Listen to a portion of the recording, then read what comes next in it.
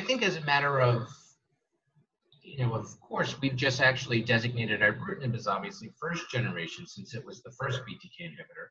Zanubrutinib and acalabrutinib are both sort of best considered as second generation BTK inhibitors. And in fact, because all three really bind covalently to the same residue and really work through the same mechanism in terms of their efficacy, the only real difference is the actual specificity and in the drug-drug interaction. So because of differences in specificity, we see fewer off-target effects with acalabrutinib and zanubrutinib than we do with ibrutinib.